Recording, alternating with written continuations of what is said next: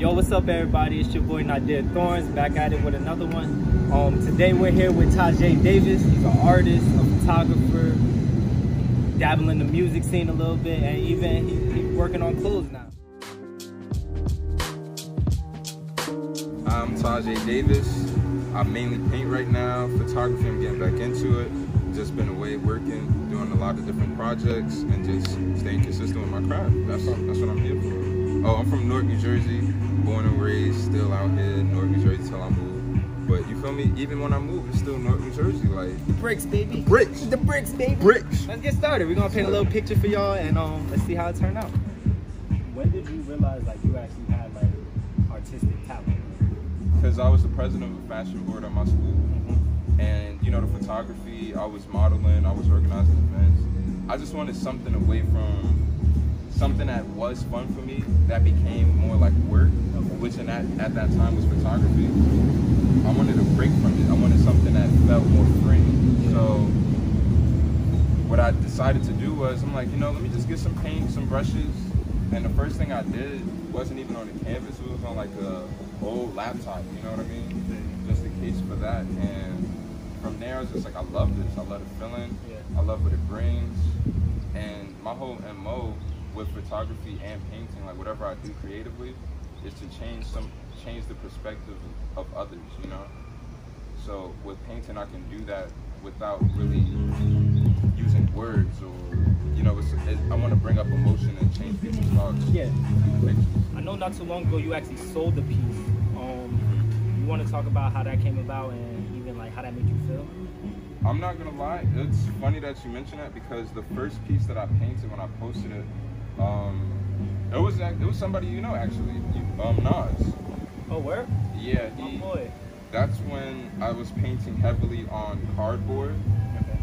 and I'll talk about why later. But painted something on cardboard, and as soon as he saw, it, he was like, "Nah, I need that." And I was just like, "Wow," you know, I, I really wasn't expecting that, especially something like one of the first things I post to the public. It got such like a good review, even if it was from a friend. It's just like he didn't have to want to buy it. You know what I mean? You see somebody have, you see that one of your friends have a craft, and instead of asking for like a discount or like a favor, you know what I mean? You want to support them full heartedly. And I feel like that's hard to come by nowadays because everybody wants to be an exception. And even in painting, people want to be that exception. Like, I, I thought I was going to be the next new, you know, reborn Basquiat. You know what I mean? Basquiat at. But I had to I had to get away from that and, and be myself, you know? Yeah. But even then, just like expectations from other people and being an exception. You, you expect to be good at something off the bat. And So ten years ago, would you see yourself selling art and like actually pursuing a career in art? I'm not gonna lie, I never imagined myself like painting, painting. Mhm. It was honestly nothing that I had in mind. Like I never, like you know what? I'll probably make a great painter one day. Like honestly, I just thought I could just make money off of photography and you know move on to different realms in photography. Like oh yeah, you know I'll do photo shoots. I have great ideas for sets and all this other stuff. But I didn't really know what I had as options leaving high school until it was too late. Like, had I known I could go to school for art, I would have busted my ass in, in high school because I care about art that much. Like, in high school, it was more so, damn, I gotta go to college. Let me pick, let me pick what they have to offer. Yeah. What's one of your biggest pet peeves about you know? Like, my biggest pet peeves about like commission-based anything, specifically art, um, you get what you ask for, and if you wanted something more specific, why don't try it yourself? And that's not to be a dickhead or That You know what I mean? a little dickhead. It's like, but it's the truth. It's just like you see what I can do. You see it's my art style. When you ask for a commission from an artist, you're you're getting something new every time. Yeah. Like you saw something that I did there. That was a one of one.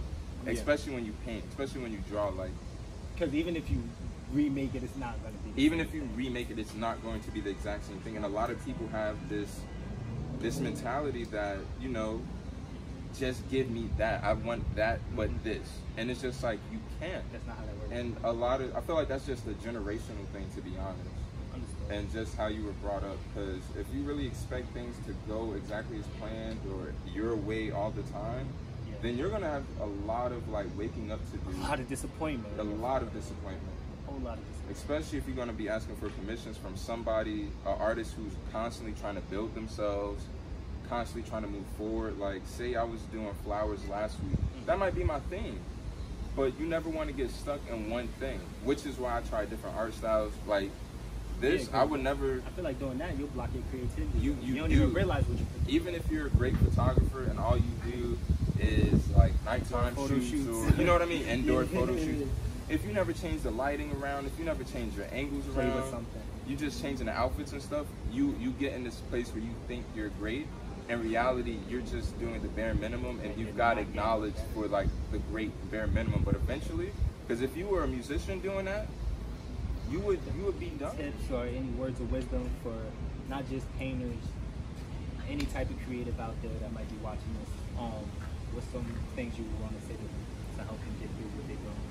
Honestly, my biggest advice for any creator, because that's how I see myself. Because you know, I, I bounce. You know, I still give each thing some time, but I bounce. But the biggest thing is balance.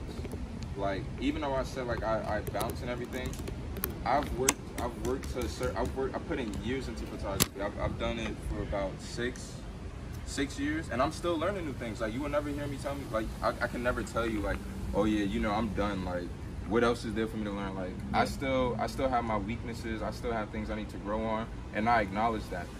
Because like part of painting is just like that letting go. I got you. Part of painting is part of that like letting go feeling. Like you know what I mean? Like that's one of the things I'm actually working on. Yeah. Is just allowing myself to feel more than um, construct the painting. Uh-huh. Because most times, you know, you stress yourself out like, I don't know what to paint, I don't know what to do, theme.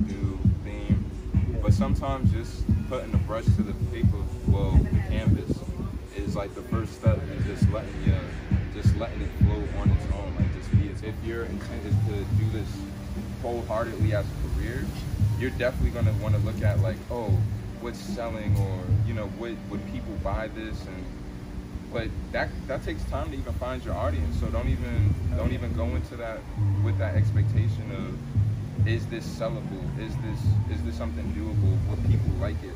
Because you're always gonna find people like just artistically and emotionally that feel the same way about something the same way you do. Yeah. If not exactly, you know, like on the dot, like this is exactly word verbatim how I feel. Get it? But you're gonna find people who relate, and you you'll be surprised who those people are. Honestly. So we got the finished product for everybody. You see here, I tried to, you know, throw a little Basquiat, Salvador Dali, a little bit Picasso in that bitch. You know, I got a little Van Gogh. You got that You see that right there? That's that Van Gogh right there. That's That's that Van Gogh. That's You see it? I don't think y'all see it. Y'all know art though. Y'all know that. You feel me? Nah, my man's did alright. It's like, nah, nah, this is real art right here. Like, I feel like I don't even know why I got showed y'all mine. This Chill, is dope. Everybody. We did this in like 20 minutes. If you peep, I kind of messed up with the colors right here. Got a little color happy, so I just tried to make it work. But yeah, it's just something like. Right there? Oh, it's about the black thing. Yeah. Yeah, it's a closed eye. It's a person. Oh. It's just. I knew it. But make sure you like, comment, subscribe. Hustle with Thornz. We got more coming for you soon. I'm gonna have all Tajai's information in the description below. Make sure you check it out. We'll be back very soon.